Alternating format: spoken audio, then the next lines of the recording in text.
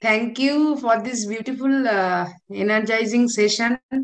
What can I say that uh, really uh, you told in between that compassion, the word compassion comes many times, and DNA renewal. So, really, when I uh, use the yoni egg for the first time, what can I say? So good sensation I have having within my body and at the crown and I got a beautiful vibration, just rhythmic vibration. What can I say to you? And so much orgasm I felt through in my eyes, especially, and the cheeks, throat, and gradually all over the body. So, what can I say? The uh, single cultivation is so much beautiful and powerful.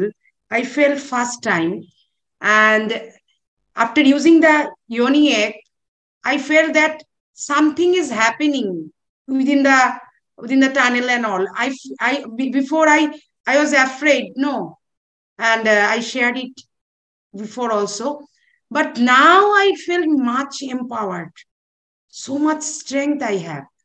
And after getting this, no, I feel much grounded, much compassionate within myself.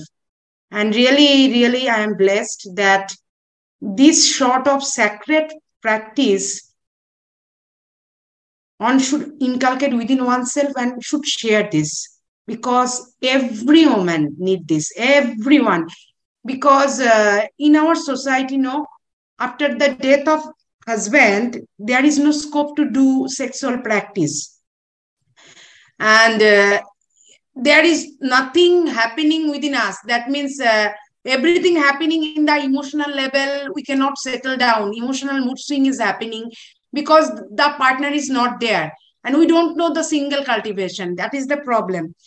And when we get this knowledge from you know i especially i am feel I am feeling so blessed that everyone, a widow should know this, a woman who is not getting married uh, should know this, a woman who has uh, really uh, want to seek, really a seeker, do this. Actually, what I can say, everyone should do this.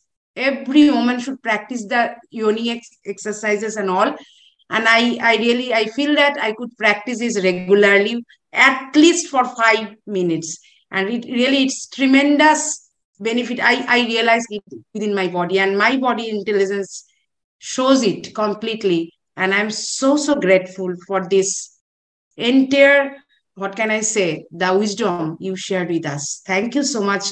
I salute your scholarship and your wisdom. And you are the master in this field. Thank you, thank you, thank you.